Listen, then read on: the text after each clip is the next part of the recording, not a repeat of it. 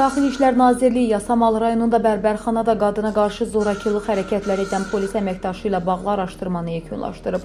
Məlumata görə həmin video görüntülər nazirlikdə hər tərəfli və operativ şəkildə araşdırılıb. Yekunda fakt təsdiqini tapıb həmin qapalı məkanda xanıma qarşı köbulluq edən şəxsin Yasamal rayon polis idarəsinin 27-ci polis bölməsinin sahə müvəkkili Qubadov Camal Qubadoğlu olduğu müəyyən edilib.